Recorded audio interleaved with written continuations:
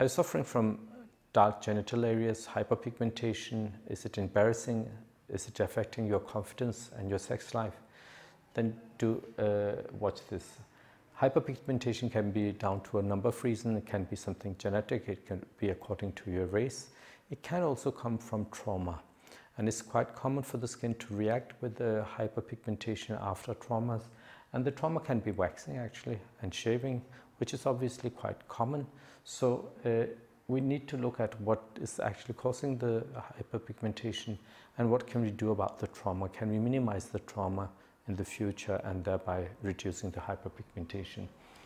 Uh, some patients may want to do away with the hyperpigmentation. They might want genital whitening and we do have procedures available for that, both for men and for women. And getting a, a genital whitening can improve your sex life and give you more confidence in your sexual uh, life and your uh, sexual interaction with your partner. So you can check more videos on sexual health and uh, health generally on our website, our Facebook page and on YouTube. If you have any questions and if you want any further information about uh, our treatments, do uh, contact us and we'll get it back in touch with you. Thank you.